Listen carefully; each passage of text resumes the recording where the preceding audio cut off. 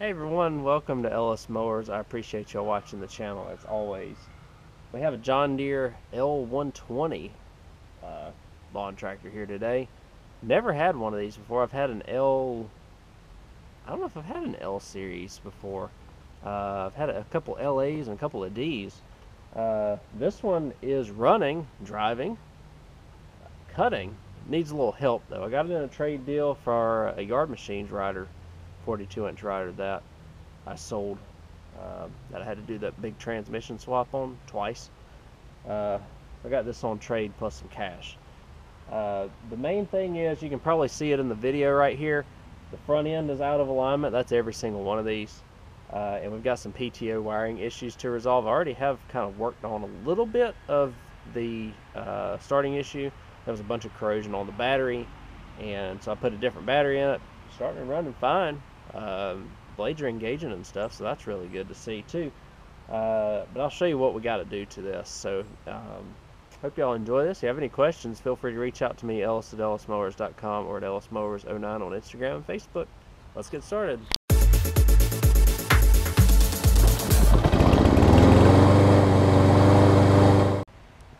So here it is. It's really not in that bad a condition. A lot of the times you see these things got rust everywhere on them uh, for because of the paint flying off. We do have some of that. Obviously, I can just spray a little bit of yellow on this. We're not going to be uh, stripping all the paint and redoing this thing. It's a Lowe's John Deere, so uh, or Home Depot, whatever. Uh, 22 horsepower Briggs on it, V twin, runs good. Uh, I have so things I've already done behind y'all's back. Had to clean all the corrosion and stuff off of the battery here there was like a mountain of corrosion. And also, the issue was, I mean, it was on both terminals. The battery was done. It had corroded through the um, starter terminal too. And so uh, I had to replace this cable. I kept the old cable end because you had to attach this to the fuse. So got a couple cable ends on it. Works just fine though a little bit underpowered battery 190 cold cranking amps. That's really the only one I have around here right now though. We'll put a bigger one in it when it is time. You see it's got a bunch of little oil drips and leaks and stuff in here. I'll show you that it runs.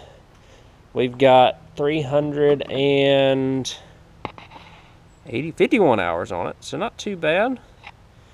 Uh, would like to see a little bit less, but it's really not too bad. Remember that 125 that time? It had over 800 hours on it. Doing better on this one.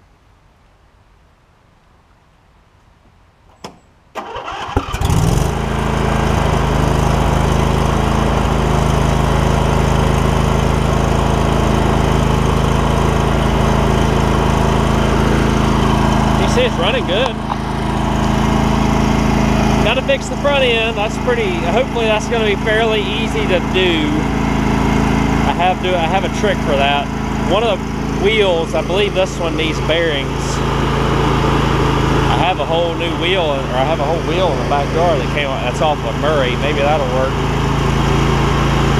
Otherwise, I'll just change the bearings out. This thing idles down and everything, so I mean, you got cruise control, 12 volt outlet down there. You don't really see that much, especially on a mower from about 2005 or 6. I do have the covers for the side, height adjustment. Blades, belts are fairly new from what he told me and from visual inspection. PTO works, but here's the thing with the wire. I'll stop it so you can hear me. So it needs some wiring work. You can see a couple of the wires are pretty stripped here from, looks like they probably got shredded at some point. So we just need to tuck that up, make it look pretty, and get rid of all this uh, nonsense right here, bare wire and stuff, and this PTO will be just fine. Again, so that's kind of the order of operations here. Um, shouldn't be too long here. Let me find uh, some bearings for this. We'll change out the bearings.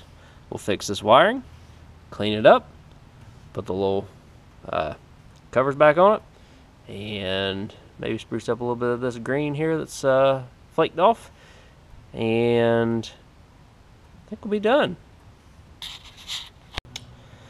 Alright guys, so we're going to look at this now. Look, a guy almost looks like he put some new tires on it recently too.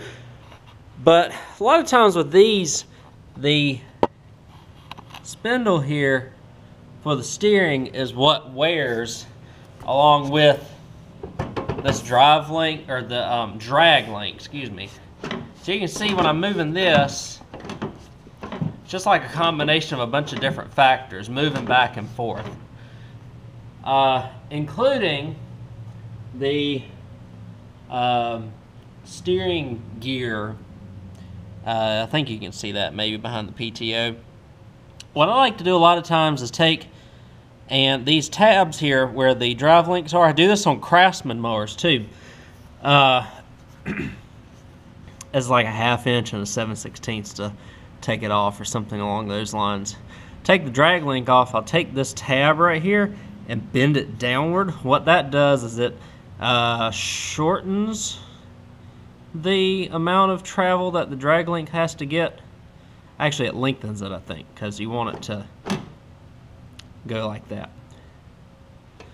But either way, what it does is it causes the toe to go in a little bit so that it's going to have some wear. So whenever I do back it up, the wheels will still face inward a little bit but when you go forward, which is the most important, the wheels will be straight. It's just kind of a easy way to compensate, uh, a cheap and easy way to compensate, so to speak.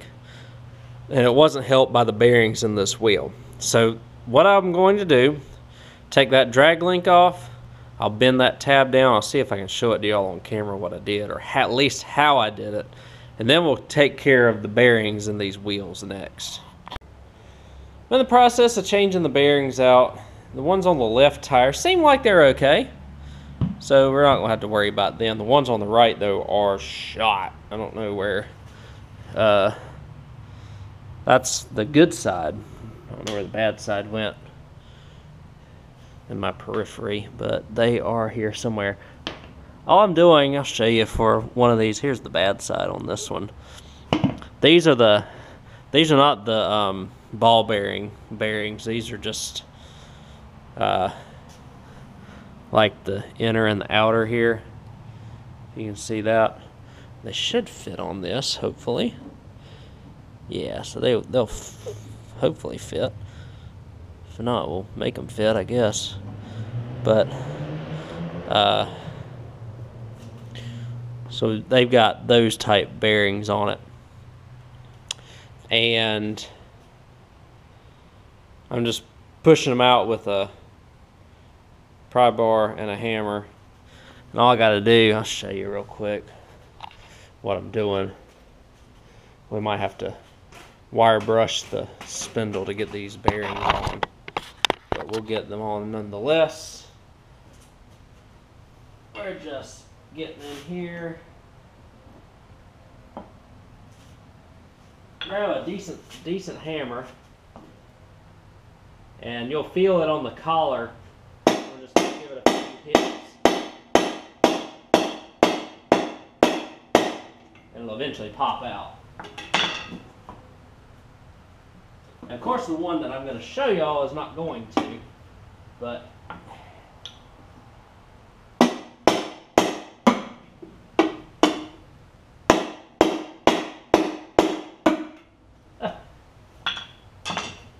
This always happens, doesn't it? Either way, that's how I pop the other three out. Then we just take it and pop it on to the spindle like so, and you're done. So let me, let's get that taken care of. And I'll be right back with y'all. I think this is a little bit better. A lot less play than what we had. The other side, it's okay. Got a little bit more wear, but it wasn't wearing out near like the right one. That bearing I couldn't get off. I took a 20 or 15 16 socket. That got it out, just hit it out with a couple of hits of the hammer. We're to grease up the front end. And in terms of the front end also, the tab, I bent down here on this side a little bit. So we're to drive around and see if that helps if things as well. The next thing is just to be tackling this PTO wiring, and hopefully after that, we'll be ready to rock and roll when it comes to uh, finishing this thing up, cleaning it up, touching up the paint a little bit, and getting it out of here. So working on the front end, I did bend the tabs down some, tried to hit the hit the spindle tabs out a little bit. I don't want to work on them anymore because I don't want to weaken them any more than they already are. Uh, just by doing that because they're already weak as they are. It's just this is terrible steering design. Craftsman, the newer Craftsmans are the same way though. So anyways, what we're doing now is what you do is you take, I'm going to take the right drag link off and I'm going to try and bend it and help shorten it a little bit. We'll see if that works.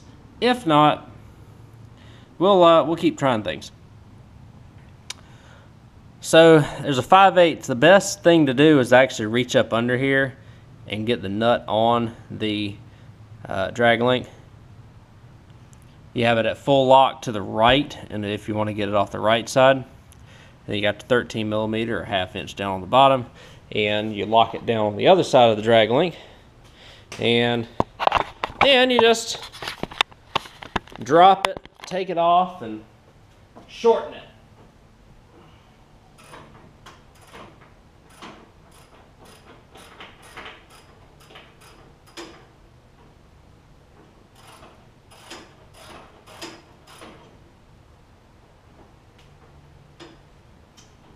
about to come off, hopefully.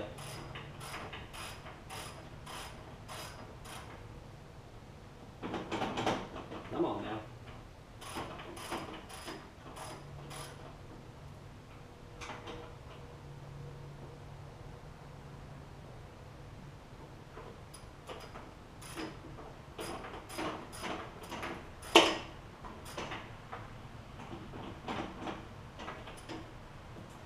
It when you can't get any turns on it. There we go, that should have done it. Maybe not. Let's see.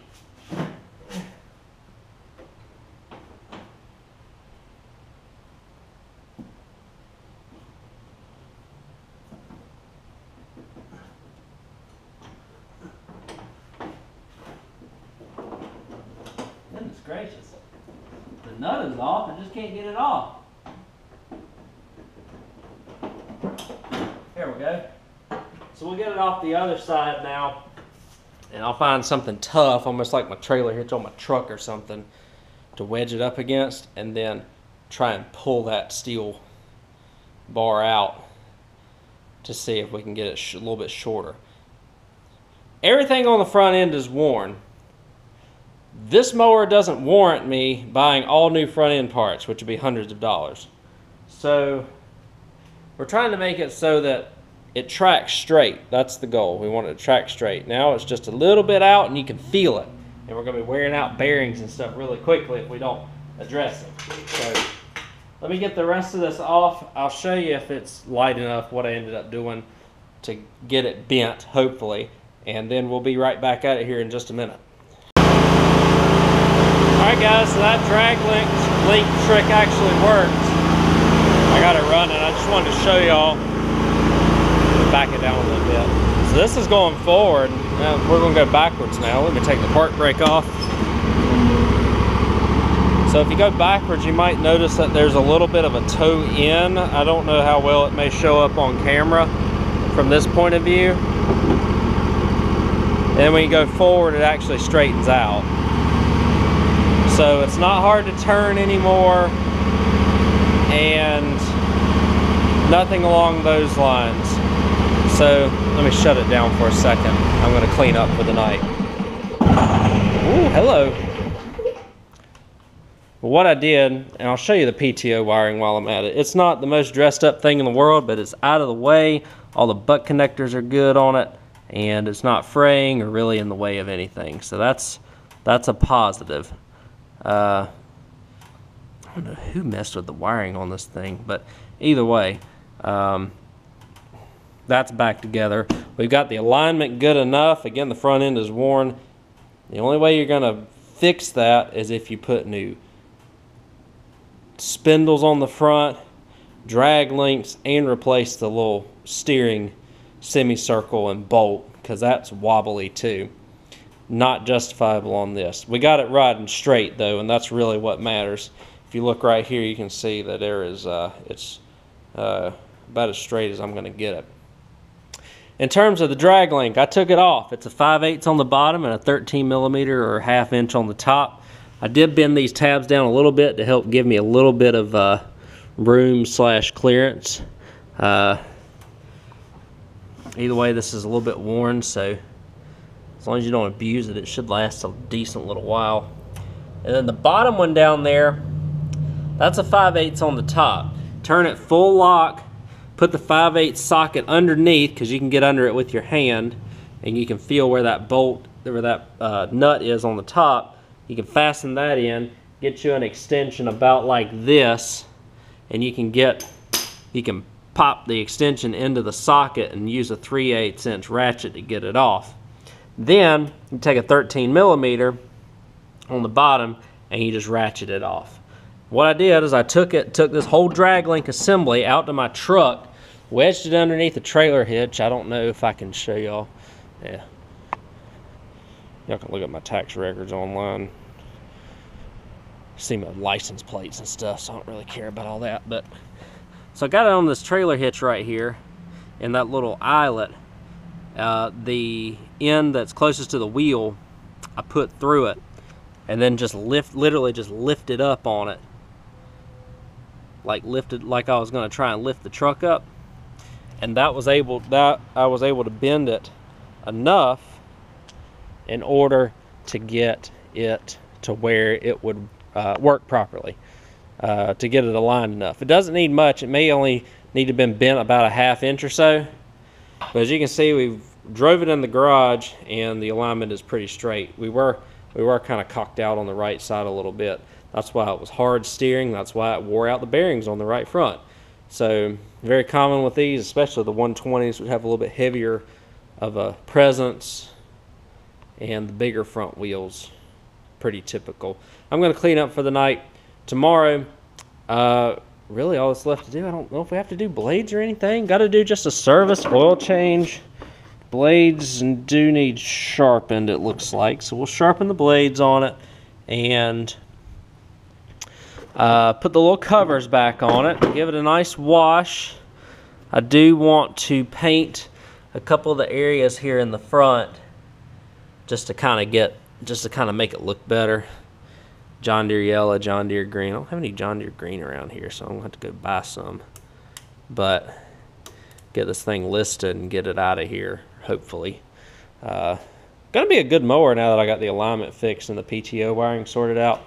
Uh, those are relatively easy fixes, thankfully. I'll stop talking. I do need to put a uh, put some ATF in the right rear because it does go down after about two or three days. I'm going to do all that tomorrow. It's too late tonight, and I'll catch you then. Alright guys, I got all the deck and stuff off of it again. It's just like five mounting points and clips and it drops right down. Nothing crazy. Leveled the deck as well. The deck is over there I got the footwells and stuff off it. I'm just going to touch up the paint with some John Deere green. That stuff was $15 at Tractor Supply, so we'll be diligent as to how much we use. But just to get them footwells kind of dressed up, nothing crazy. Need to put the gas cap back on. I put some oh, yellow jacket friend right there. Put a gas cap or put some gas in it. It was a little bit hard to start, and it was knocked the battery down pretty quickly. So, uh, I got it running with a jump box and then I found out that the voltage regulator doesn't look like it's operating. Remember I have told y'all I had to replace this positive battery cable and all that stuff. I have checked, I have continuity from the positive terminal of the battery down to the output terminal of the voltage regulator. There's zero ohms. I have ground because there's no ohms between the ground bolt for this voltage regulator and the negative terminal of the battery. I tested the coil or stator at the back terminal of this wire right here up to the positive terminal and I had 14 and some change volts. So I know that the output of the uh, stator is good, but when it comes through here, it only outputs like 4 volts between this and the positive terminal of the battery. So I'm thinking that the voltage regulator inside is bad. Part numbers right here on the side. They're only like 10 to 15 dollars. Totally worth it to do on this. Um, obviously, uh, we need it because of an electric PTO. So uh, I haven't had this thing running very long either with the PTO on. So I know that we need something. And I'm pretty sure it's the regulator. It's 20 years old. It probably stand replaced anyways. Uh, deck is mostly clean. I'm about to hit this with spray paint as well. Uh, to take off the belt, it's just this spring right here. You have to come, call it or have it come loose. And I'll be fighting to the grave on trying to get this deck 100% right. So I did some wire brush action and just kind of skirted the high points and got it to where it is like this and hopefully that'll at least help stop the paint from flaking off some. I am going to paint this, paint, touch up this area with yellow just so that it doesn't look quite as ugly. Get a voltage regulator ordered and put that on.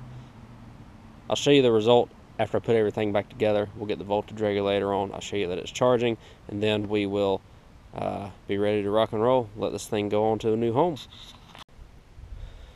Alright, so here's the finished product, so to speak. Um, that is not John Deere yellow. It's like some Krylon, and it doesn't morph as well. This is only one coat of that John Deere green here, and man, did it work really, really well. Good coverage.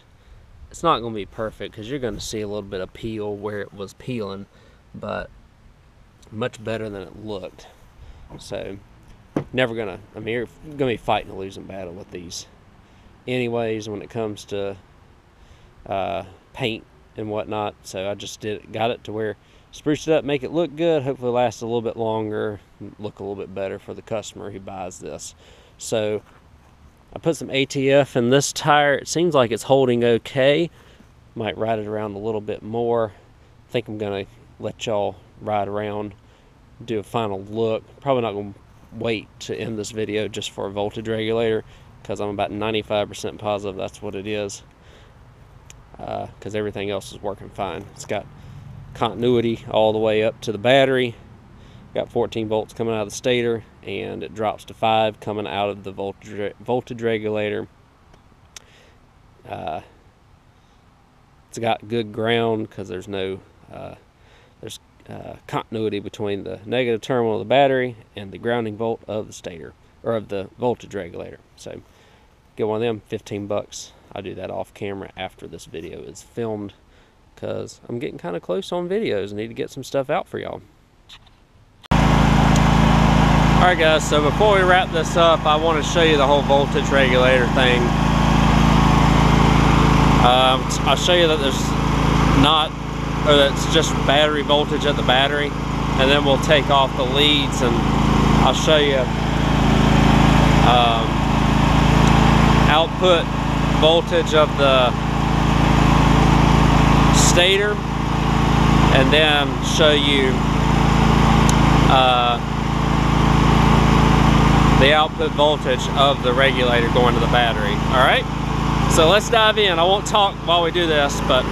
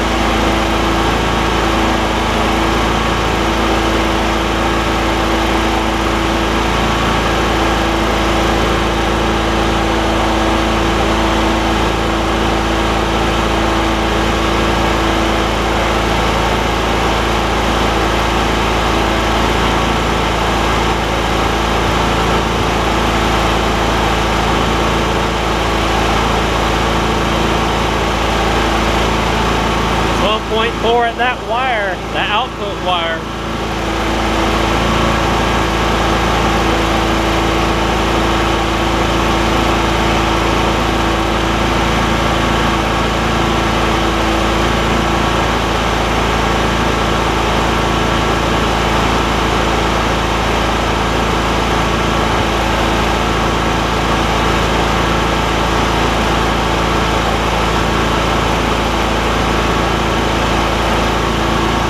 Thirty-one AC is in range. We got a bad regulator.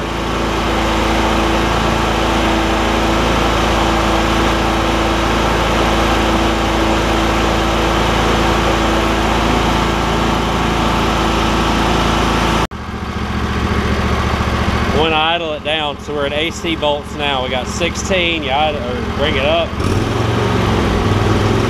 And so that regulator just changes it. And then we go back to DC voltage. I can show you that one side has got seven.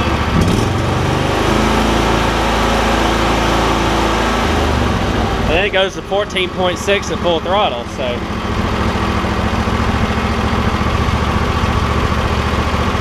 I think, uh, I think we're gonna put a regulator on this. But in the meantime, while I have enough battery voltage, I'll take y'all out for a spin. You can see it actually turned out pretty nice with all the paint and stuff. As you can see. Just gotta get that regulator on and we'll be ready to rock and roll on this thing.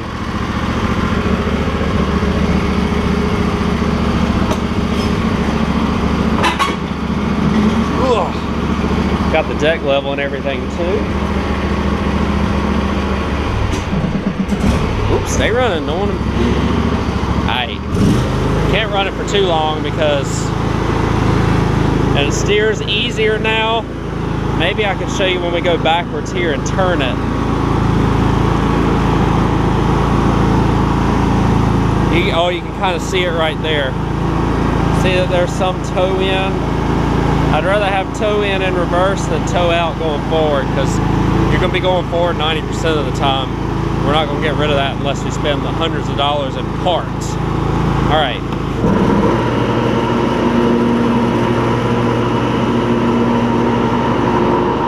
Then the reverse.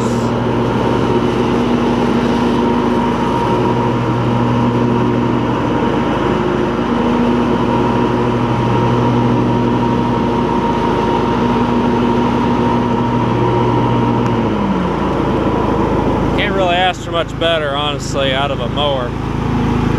Take it for a spin. Steering wheel is not 100% aligned, probably from where I bent, bent them drag links. But beforehand, before I fixed the steering on it, I would not have been able to turn it with one hand. It was all of two hands to get this thing turning. So that's the goal. Get it to be easy to steer, easy to use, not wearing out bearings.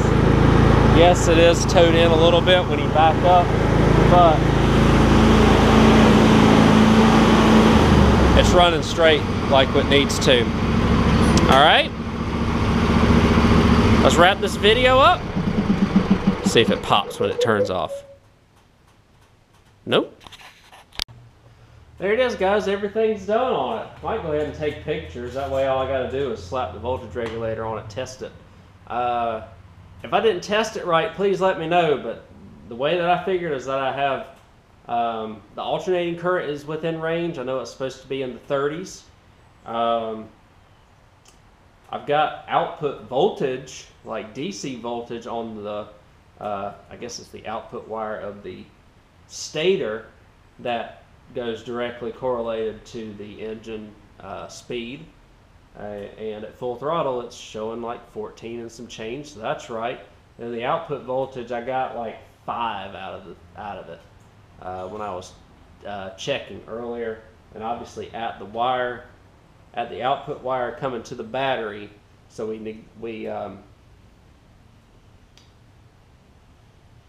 I guess we pretty much eliminated all the other stuff in between.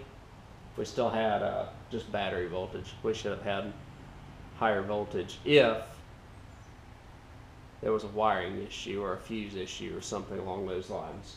So, we'll do that after the fact here. Got to get this video out because I'm starting to run low on videos. Uh, usually I'm a month or so ahead. I'm only about a week ahead right now. So, hope y'all enjoyed this. Remember, I was, the story behind this, I sold that 42 inch yard machines that I swapped the transmission on. Uh, gave them a $150 discount. We had bad corrosion on the battery, um, you know, paint flaking off and stuff, you know, the typical John Deere stuff. Front end, fixed front end, uh, put a new battery in it, cleaned up all the terminals, touched up the deck, sharpened the blades, uh, ATF in the right rear tire, and that's pretty much it on this one. Pretty easy, all things considered once we got everything lined up in the front to where it's straight going forward. So thank y'all again for watching. Hope y'all enjoyed this video. If there's anything that y'all see that I didn't do correctly, feel free to point it out. I'm always trying to learn. So uh, this probably is going to yield, I don't know, uh, it's not going to leave for less than $800. I know that. I'll probably list it for 950 keep it under the 1000 range to get it out. Because really these L series aren't really worth more than that. Uh, even in really good condition. This one's in good condition. Um, but we'll see. Thank you all again for watching. If you have any questions, feel free to reach out to me, ellis at ellismowers.com or at ellismowers09 on Instagram and Facebook. And I'll catch y'all in the next video. See you then.